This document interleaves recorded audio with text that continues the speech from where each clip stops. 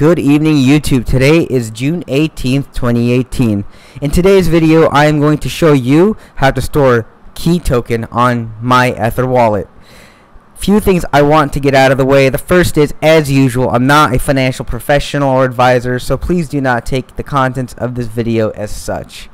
The other two things I want to get out of the way is first, you'll need an internet connection. Second, you'll need a wallet through My Ether Wallet. If you don't know what My Ether Wallet is, you don't know how to set up an account through there, let me know in the comment section and I'll help you out. Otherwise, you need to log. The first step you need to do is you need to log into your My Ether Wallet account, and I've already done that. And when you log in, it brings you to this page.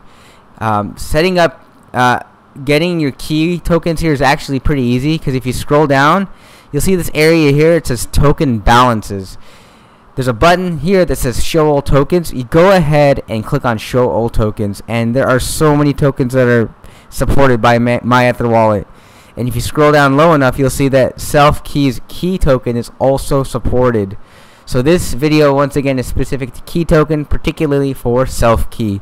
If you see here what that means is this wallet so my ether wallet supports key token now, one best practice I have, so one thing I always do no matter who says whether a wallet is legit or not, is I always send myself a test transaction before I send my full funds along.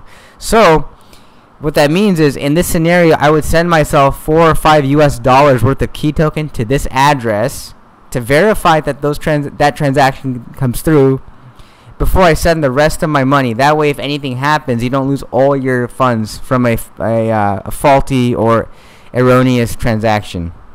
So that's how you set up and uh, use a wallet for your key tokens. If you have any questions or any feedback, please use the comments section. Thanks for your time and have a good night. Bye.